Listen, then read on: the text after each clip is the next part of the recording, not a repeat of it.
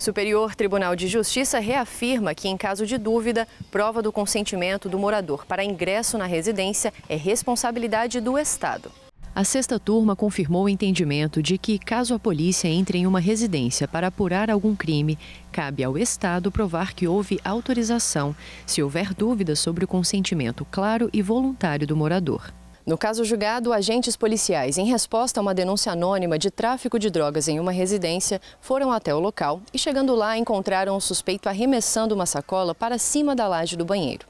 Durante a revista na casa foram encontrados diversos entorpecentes, armas de fogo, munições, uma balança e um colete à prova de balas. O Tribunal de Justiça de Minas Gerais confirmou a sentença de primeira instância, entendendo pela legalidade do ingresso dos policiais devido à suspeita de flagrante delito, dispensando a existência de termo escrito ou registro audiovisual do consentimento do morador. Ao STJ, a defesa do réu alegou invasão de domicílio e ausência de autorização de entrada.